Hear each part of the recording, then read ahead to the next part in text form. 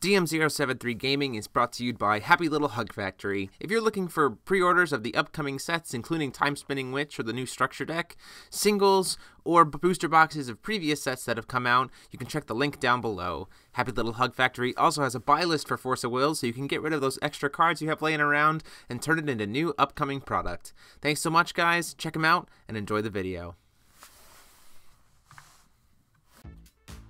Hey there guys, DM073 here, bringing you a recap of this week's spoilers all in one video.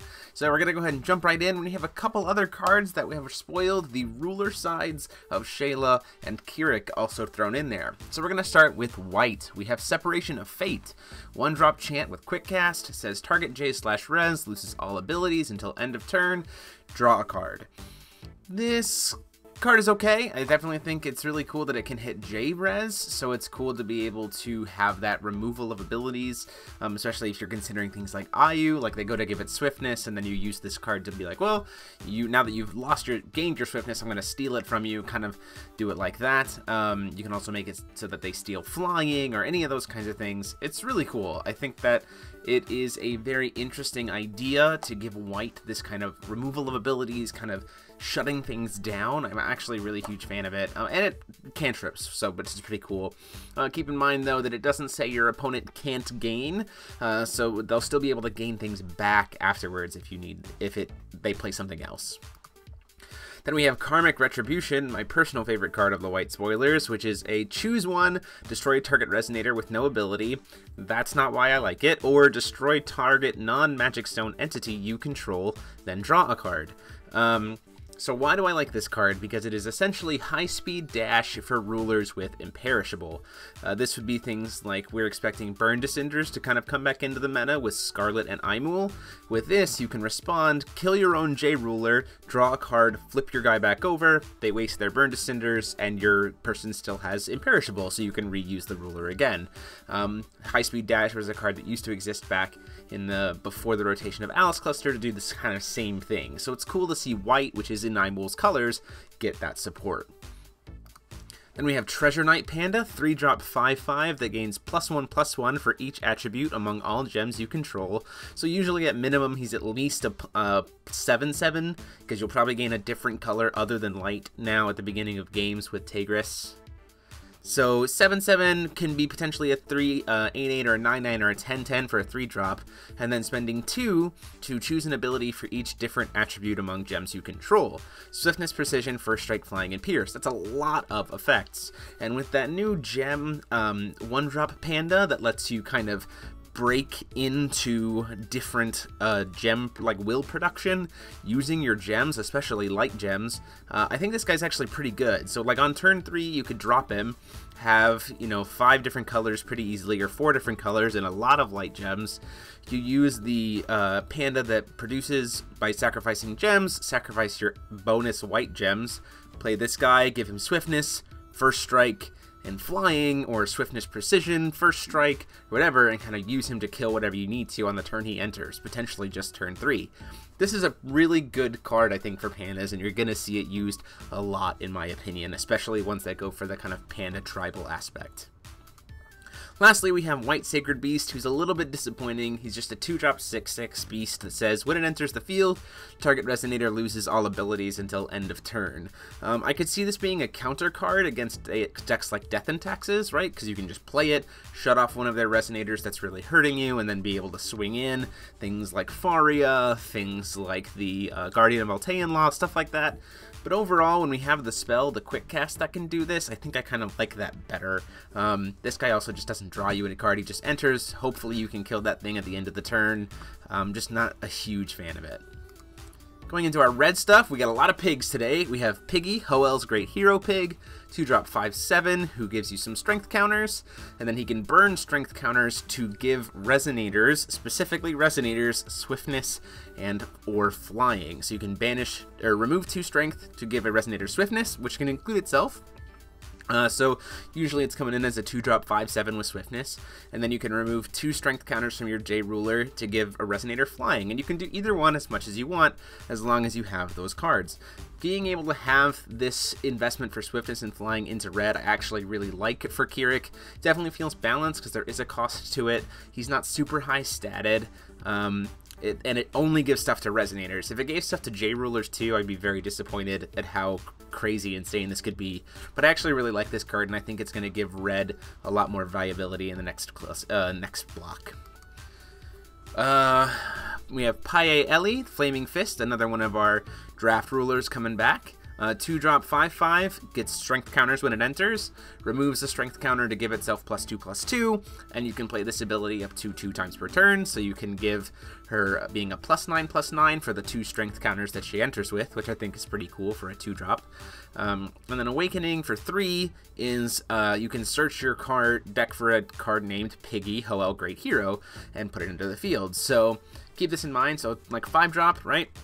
Five drop with Awakening, bring this in, Piggy comes in, both Paye and Piggy get their counters boosted. Uh, Piggy can remove two counters to give Paye swiftness. Paye can pump herself up plus four. So for the free counters for just that five wheels, suddenly you have a 9-9 swiftness and a 5-7 body to kind of back it up. Uh, or you could just give them both swiftness and both flying and potentially just see a lot of damage coming their way. Uh, so I think this is cool for that kind of aggro aggression uh, versions of Kirik, and we'll definitely have to see kind of how it plays out. Then we have Piggy's Child, 1 drop 2 4. If you control Piggy, Hoel's Great Hero Pig, it can't be attacked, which I think is relevant. Uh, and then it can tap to give another Beast Resonator you control plus 2 plus 2. Um, Again, pretty cool. I think it combos well with like Pig, uh, Piggy, so you can go like this guy on turn one. Turn two, you play Piggy, give Piggy swiftness, and then use Piggy's Child to pump it up plus two, plus two. So then you have suddenly a 7-9 swiftness, uh, and then Piggy's Child can't be attacked as long as you have Piggy on the fields, and then they have to try to kill it. And it, there's a lot of interesting things that I think are going to come out of Red, especially in that very aggressive nature that we just haven't really seen lately. Um, so I'm really looking forward to it. Then we have selection, two drops says draw two cards, then discard a card.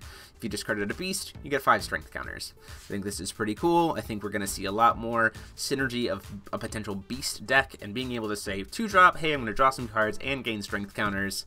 Uh, I think it's just a, a fine, um, a fine common to throw into the potential options for a beast deck. Next up, we have our blue stuff. There's a lot of interesting stuff here today. We have Treachery. Uh, J Resonators you control gain plus 200 attack and precision, and then prevent all damage that would be dealt to J Resonators you control by J Resonators your opponent controls. So essentially this means that they all also get first strike in a way, but they just don't take any of the damage at all. Um, I think this is really cool. Um, especially for blue. It's a little overcosted, but essentially it says we both are kind of massing a board state. Neither one of us is swinging. I'm going to play Treachery, bump all my guys up, kill all your guys, and then say, here you go. Um, yeah, I'm, I'm pretty excited about it. I think this is a card that's probably more of a sideboardy kind of card for blue, but as it only is one blue, I think that it's very possible that we could see this card come out in a lot of different things. Like um, in the Lumia command mirror, right? I could def definitely see this card being very viable, um, being able to use your board of creatures to wipe out their board of creatures and then say, well, I've got all my Lumias to back myself up because I won the cancel war and got this to resolve. Good luck. Um, so I just think there's a lot of potential options for this card. Next up, we have Rebellious Soul Ayu. So Ayu's not so friendly anymore, I guess.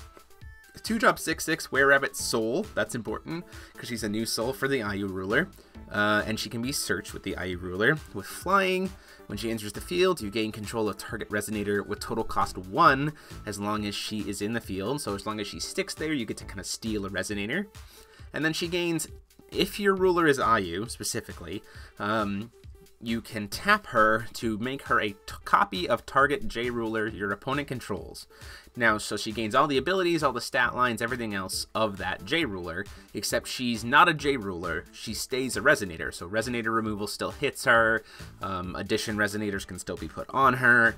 Anything like you know can be bestowed to her and all that kind of stuff.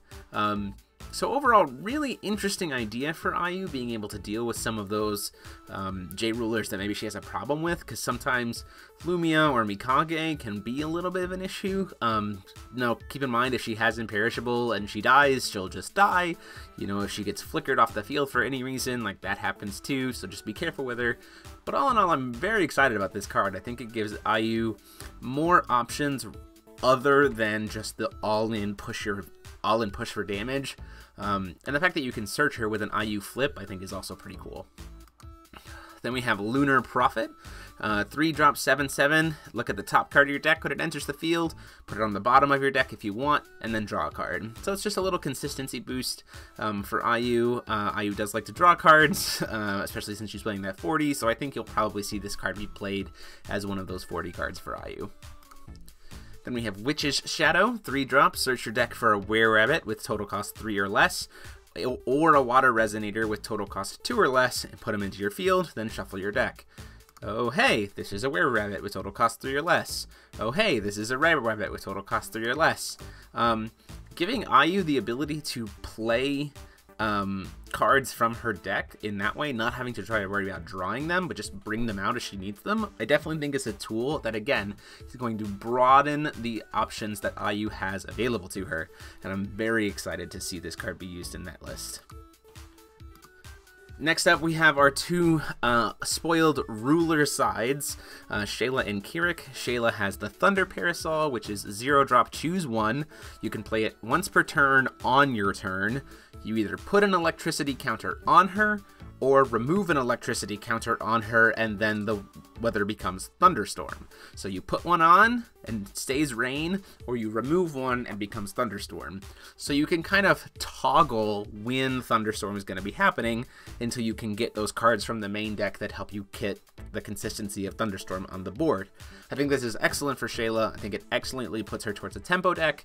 First couple turns, you're probably going to want to want rain over thunderstorm, so you can just build up some electricity counters and then use them as you need to to make those tempo swings happen. Very, very excited about this. And then we have Kirik, who has the Blood of the Dragon God, and he can remove two strength counters from his turn, from his self. Look at the top five cards of your deck, reveal a battle art, put it into your hand, and then put the rest on the bottom of your deck in any order. And you can do this once per turn, on your turn only.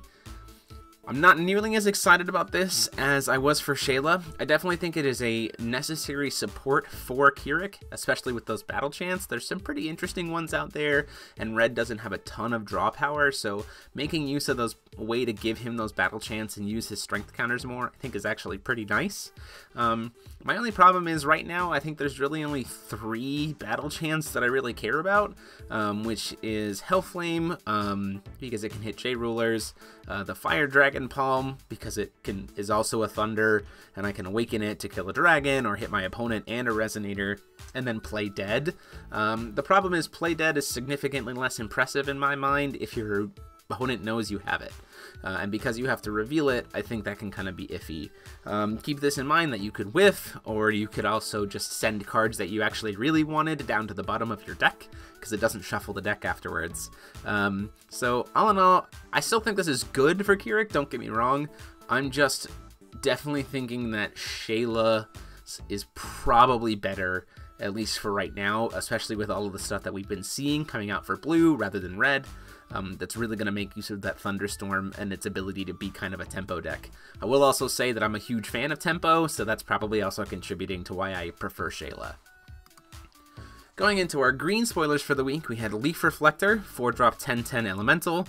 Whenever a chant, so this is specifically a spell, deals damage to this card, no resonator effects, no resonator attacks, nothing like that, no J ruler hits, no J ruler effects, just chance deal damage to it, it deals damage to your opponent. This is a very similar mechanic to Volga that we used to exist a long time ago.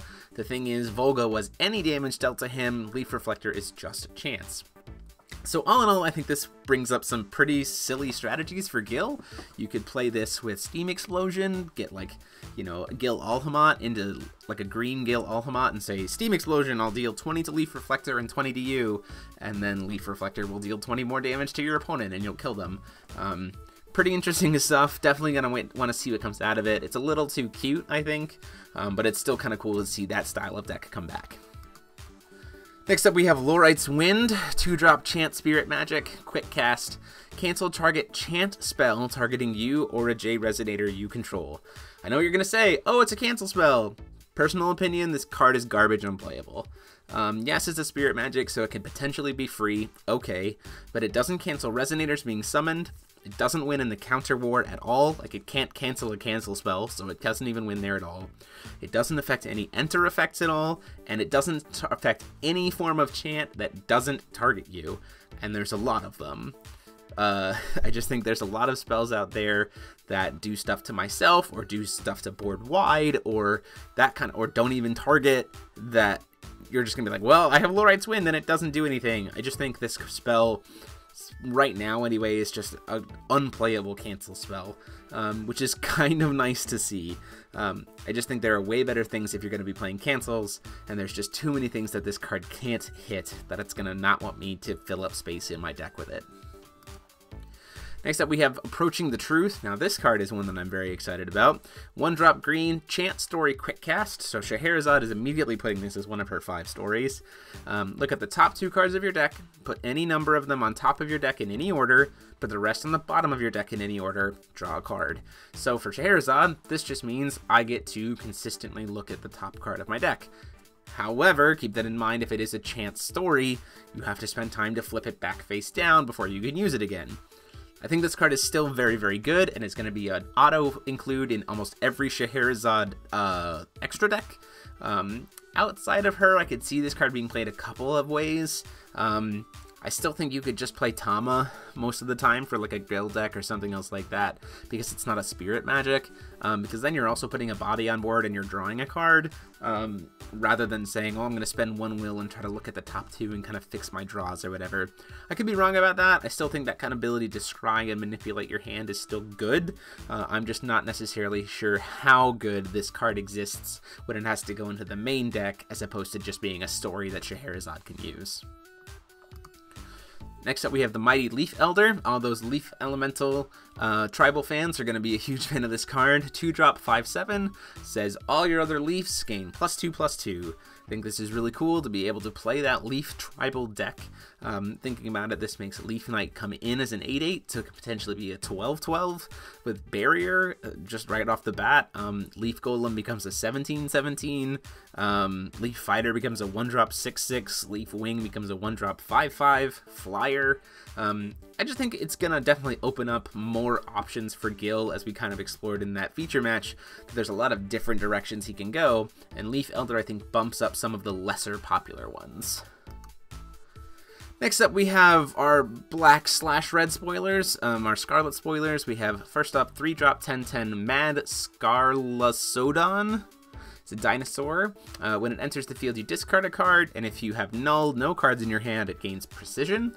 Um, that's pretty good stat line. Uh, 3 drop 10 10 with precision is pretty awesome. Um, and then, of course, it is a good payoff because you're having to discard a card in order to kind of bring it in. Now, Scarlet likes having her hand empty, but you're still kind of taking that risk by emptying your hand of a potential card to use later to be able to play this creature.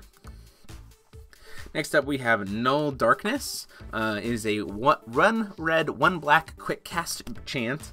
Um, very huge fan of this card. It says uh, quick cast, destroy target resonator, and if your hand is empty, destroy up to one target J ruler. So we have a J ruler hate card, a solid, um, cheap, quick, uh, quick cast J ruler hate card for any stat line J ruler. Now, I really like this. You have to have your hand empty for it to be J Ruler Hate, right? Which makes up for the fact that it's cheap. And it can be canceled, so it can be risky, but I still think if players don't respect this when you're playing against a um, Scarlet deck and they flip too early or get too greedy, and then you just kind of punish them with this, I think it's pretty awesome. Then we have Ancient Impact. It is an 8-drop chant that cannot be canceled if your J Ruler is Dusk Girl or Crimson or Scarlet and it just says this card deals 2,000 damage to target player or J-Res. So it's an uncancelable 2,000 damage spell. I okay, let's finish the game out. You know, I'm, we're, we're top decking. I probably dealt a couple points of damage to you. Now I'm kind of stalling out. I get to a bunch of will, and heada! Suddenly I have an uncancelable just here. Let's end the game. Um, I think that's pretty cool. It's definitely cool support to see for a deck that kind of likes to have top decks. So you probably just consider playing this as maybe a one or a two of in Scarlet decks, just in case the game goes long and you go, oops, you're dead. Um, so I think that's kind of cool. Then lastly, we have Scarlet Stone, which is the Null Magic Stone. Um, it says produce black or produce red, and this card deals 200 damage to you. Or with null, you can tap and banish it to produce uh, red and black. So if you have no cards in your hand, it doubles up, um, which keep that in mind with Ancient Impact is kind of relevant because then you can cast it super quick. So like if you hit your four null magic stones in a row and you've got your opponent down to 4,000, or 2000, then on your turn you just go, well, I'm going to sack all four of my stones. Or I guess it won't really matter because you'd still have Ancient Impact in your hand. Never mind, ignore me. Um, I still think that is a pretty cool concept um, to have. Uh, it just kind of gets a little weird. Um, but yeah, uh, overall, I think Scarlet's getting some pretty interesting support. I'm interested to see what handless decks look like in this game. Um, but let me know what your guys' thoughts are, or whether you're Team Kirik, or is it Team Kirik or Team Shaela. I personally am Team Shaela, but we'll see how that goes. Um, let me know what your favorite spoilers are for this week, and then uh, deck profiles for the Panda list will be up tomorrow, with Welser coming up on Saturday, and then back to uh, other content later this week and into next week with the next feature match. Thank you guys so much for watching. Go ahead and share this out with your friends who might need to get caught up on the spoilers from this week. And until next time, this is DM073 signing off. Huge thanks to the patrons of the channel. You see their names here on the screen as well as down below in the description. They are what help make this channel run and help me do these awesome projects for you guys. If you feel like joining the channel and getting access to all the cool perks that come with being a patron, click on the P on the screen or the link down below. Thanks so much. See you next time.